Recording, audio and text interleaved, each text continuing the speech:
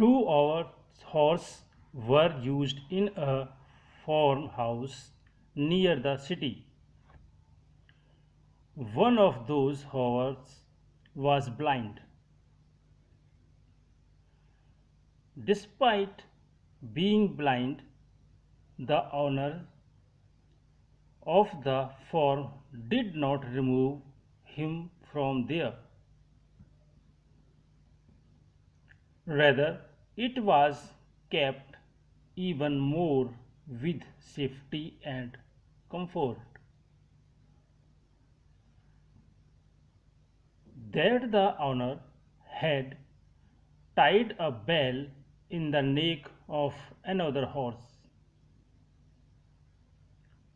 Listening to the sound, the blind horse reached him, and behind him he used to roam in the enclosure. The bell horse also considered the problem of his blind friend.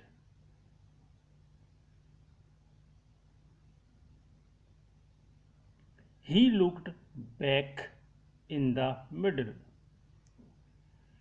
and to ensure that his partner does not wander from the path. Friends, just like the owner of the enclosure, God also take care of us. And whenever we need it,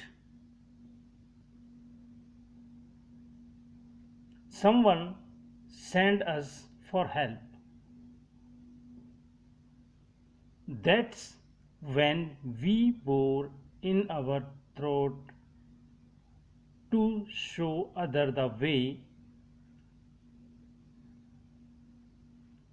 Always help other. With this, we can be helpful to God.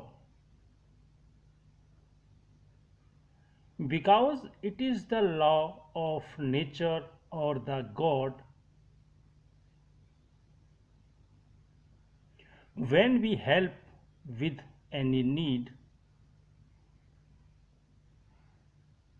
give anything to anyone, the God and nature gets us by multiply too.